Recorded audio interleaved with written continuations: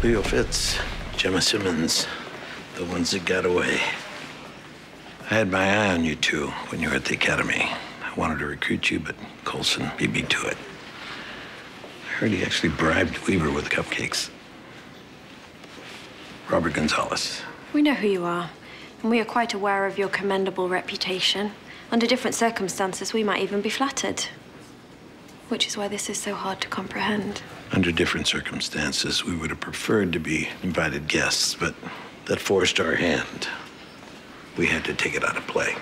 What's inside that's so important? All we know is that Coulson and Fury both believed it was valuable enough or dangerous enough to protect with extreme measures. Maybe it was their favorite recipes.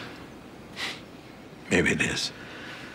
Then maybe we can put all this behind us and move on. That's why I'm asking you for your help, Leo.